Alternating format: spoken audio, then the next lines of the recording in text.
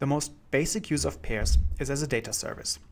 That is to ask questions such as, what is the temperature or the temperature forecast at some location?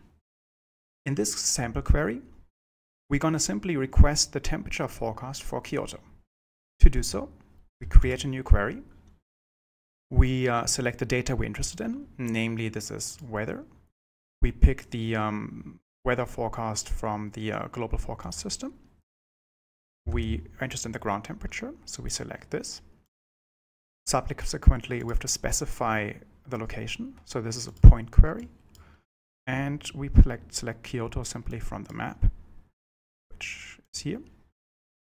Now, finally, we have to select the time interval we're interested in, okay? And to do so, you can see here that PAIRS gives you a hint, okay? Essentially, uh, it tells you for what time there's data available from the specific data layer, okay? Since this is a temperature forecast, you see that this actually goes somewhat into the future, okay? So just so you know, today uh, is March the 5th. Um, there's roughly two weeks of uh, forecast range, okay, for this forecast. So we can select something up to March 17. Uh, at the same time, uh, there's actually historical forecast data available, which is why this goes back all the way to 2015. And we can simply select the complete time series like this. So finally, we have to give this query a name. And then we can submit it.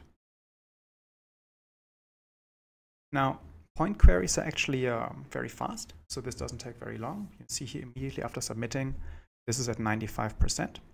So um, it only takes a few seconds to wait for this to be finished. And now we can take a look at this. So in this window, we see at the bottom the uh, temperature time series. Now, if we hover over it, um, it basically highlights the temperature at this point we are hovering over. Units for temperature here are in Kelvin. Um, if we want to, we can just change the map into a standard map for a political map. And the neat thing is, since point queries are very fast, we can simply click somewhere else on the map, such as Tokyo here, and now get um, the time series for Tokyo. Okay, this is requested at this in real time from the system. So this launches another query. And now we can see and compare the time series for Tokyo. If we wanted to, we can also change the time interval to zoom in on some aspects. So if we're just interested in the last year, we could select 2017 like this. So now we have the 2017 cycle here. And finally, you notice there's a bot button in the top bottom right corner here to download the data.